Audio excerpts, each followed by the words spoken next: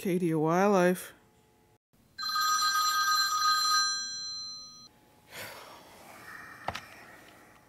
Acadia Wildlife. Hello, you've reached the Wildlife Clinic at Acadia Wildlife Foundation.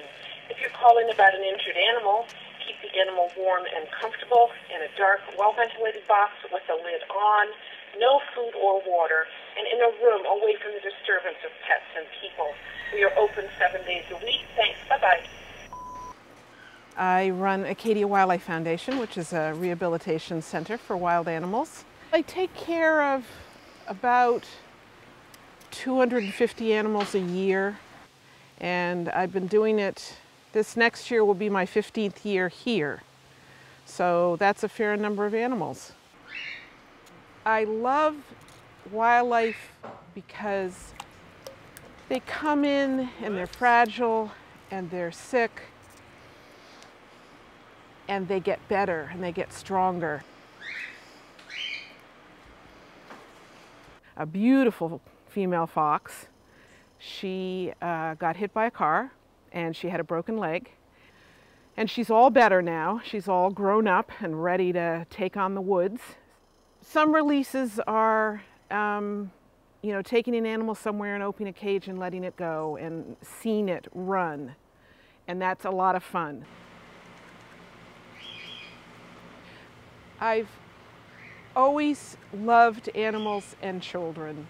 This is my son Tony Mullane, who has been helping me with the animals since he was three years old, I guess, and has always loved animals.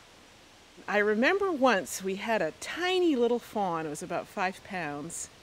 And the one in the photograph. Yep. And it's been cool. it'd been following its mother across the road and somebody stopped and said, "Oh, I've got to help that fawn," and they picked it up and they brought it here. Mm-hmm.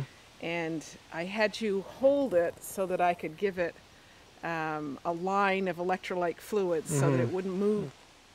And uh, I had to make a living somehow, and um, It's been a hard living. And so you know it was it was the perfect job, but it was a seven day a week job, so I could stop anytime and and be with you and take care of you, mm. but then I'd have to start up again, you know, and Yeah. and go go at it, and it's sort of 14 hours a day. You could open the door for me. Okay. And fourth grade, you started to have a severe anxiety and not be able to stay in class. Hi, my name is Tony Mullane, and I have an anxiety disorder. My anxiety gets in the way of everything fixing a bowl of cereal, writing a paper for school, even walking on my own driveway. It hits me in the head, it punches me in my stomach.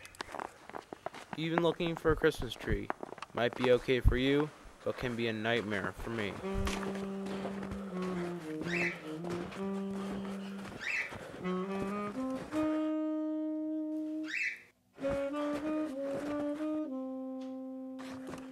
I see you just absolutely loving film and just struggling with your fingernails, pulling yourself up, trying to get to a place where you can do five minutes without falling apart and then 10 minutes.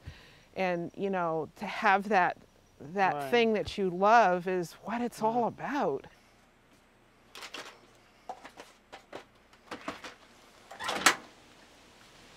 Some of the releases are done here on my own property, and they're what we call soft releases.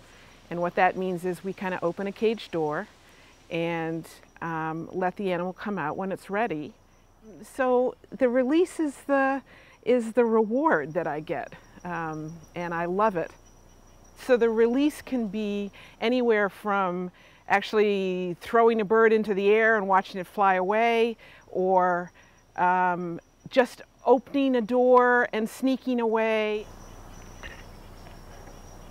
When my younger son Tony leaves home, I'm hoping I'll have that same exhilaration that I get with the wild animals, that I just, you know, not throw them up in the air and watch them fly, but just have that feeling of, you know, they're going on, they're strong, they're competent, they're self-sufficient, they're okay, they're in their element.